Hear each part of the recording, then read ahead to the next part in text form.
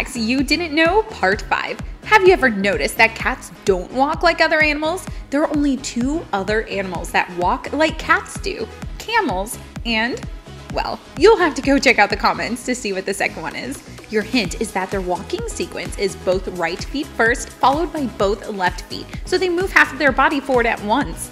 Don't know what the other animal is? Go check out the comments to figure it out.